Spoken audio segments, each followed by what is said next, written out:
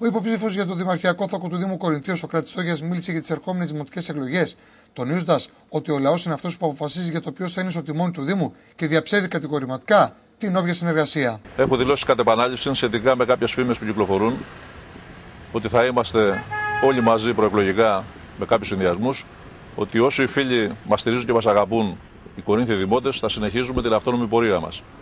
Οι δημότες είναι αυτοί οι οποίοι θα μας υπαγορεύσουν και θα μας αναγκάσουν είτε να βρεθούμε στο αξίωμα το ανώτατο, είτε να πάμε στο σπίτι μας. Το άλλο που έχω να πω ότι τη δεύτερη Κυριακή, είτε μας αρέσει είτε όχι, οι δημότες αποφασίζουν ποιο θέλουν δήμαρχο. Αυτό θα συμβεί και τώρα.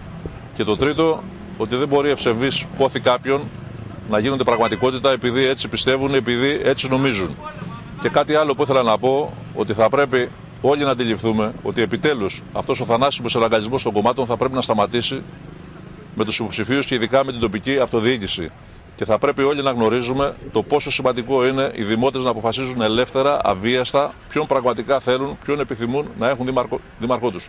Διαψεύδω κατηγορηματικά λοιπόν κάθε συνεργασία προεκλογική και αν λοιπόν αυτοί οι φίλοι που μας αγαπούν, αυτοί οι φίλοι που μας στηρίζουν, πάψουν να μας αγαπούν και να μας στηρίζουν, δεν έχουμε κανένα πρόβλημα να γυρίσουμε σελίδα, δεν έχουμε κανένα πρόβλημα να πάμε στο σπίτι μας, δεν έχουμε κανένα πρόβλημα να ασχοληθούμε με τους φίλους και την οικογένειά μου. Οικογένειά μας. Αυτό έχω να, δηλώσει, να δηλώσω και ελπίζω ότι όλοι αυτοί που μας βλέπουν, οι τηλεθεατές, εκτιμούν την προσπάθειά μας, εκτιμούν την προσφορά μας και θα μας επιβραβεύσουν όταν έρθει η κατάλληλη στιγμή.